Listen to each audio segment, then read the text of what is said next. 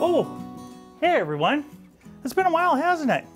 But you know, I figured since we're all in lockdown mode, it's a good time to make a new barbecue video for us, just for spring. Today I've got something special, a wonderful appetizer, blistered shishito peppers. You're gonna love these. So let's follow the guidelines. Disinfect your hands, stand six feet back, take a good chug of hydroxychloroquine, or maybe a, some of this if you've got it, and let's go! The name shishito, and you gotta be careful saying that, comes from the Japanese words shishi, which means lion, and torogashi, which translates into chili pepper. Hence in Japan, these peppers are known as the lion head pepper. The typical pepper is about two to five inches long, slender, and a bright green color. They have a thin skin and most have a slightly sweet flavor. I say mostly because about one out of 10 are hot. So as they say, you pays your money and you take your chances. Not to worry, even the hot ones are not that hot. The typical heat range of a shishito pepper runs from 50 to 200 Scoville heat units, which isn't very hot at all. A typical jalapeno pepper averages about 5,000 Scoville heat units. Yikes! So roughly speaking, I'm about as hot as a shishito pepper. You can get these bad boys at most large supermarkets. I got these at Stater Brothers, and they're packaged by Frieda's. Frieda's is a trusted source for fantastic, unique vegetables and fruits. Welcome to our kitchen. Before we get started, we want to rinse our peppers off with some cold water, and when we're all done, we want to pat them dry.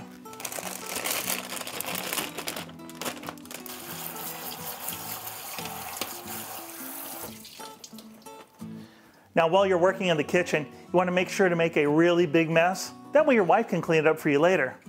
She'll appreciate that. After you get your peppers dried off, let's put them in a bowl. We'll add about uh, half a cup of grapeseed oil. I like to use grapeseed oil because it, it doesn't really leave any residual flavor onto the peppers.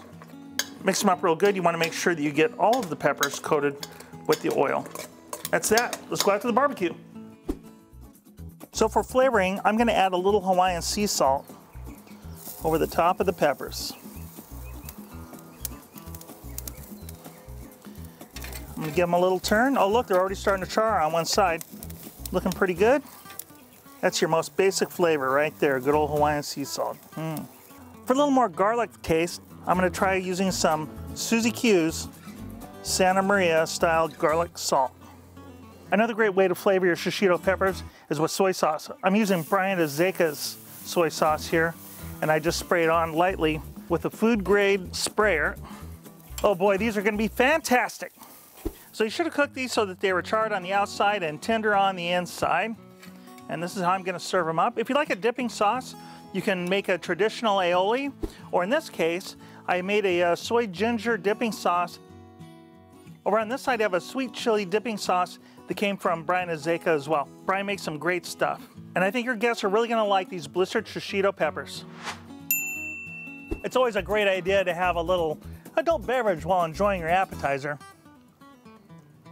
However, I wouldn't recommend having 19 of these at once. Even Dr. Fauci wouldn't recommend that. Ding dong, doc. And I'll see you next time from the pit.